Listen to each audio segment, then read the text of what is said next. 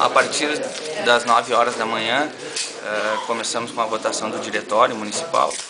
onde se encerrava às 17 horas, uh, tendo o encerramento do diretório já eleito, se iniciou os trabalhos para a escolha da executiva, onde foram apresentadas duas chapas, uma encabeçada pelo Livino da Silva Almeida e a outra pela doutora Fátima Ferreira, onde, digamos assim, até para nossa felicidade, quem sabe, é, houve 19 votos para cada um dos dois candidatos. Sendo assim, se consultou o diretório, o, a presidência estadual do partido, é, onde teve algumas sugestões,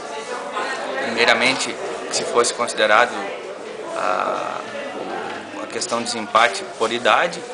uh, logo após sugeriram que se uh, criasse uma comissão uh, para atender esses trabalhos, onde ficou definido por fim que foram suspensos os trabalhos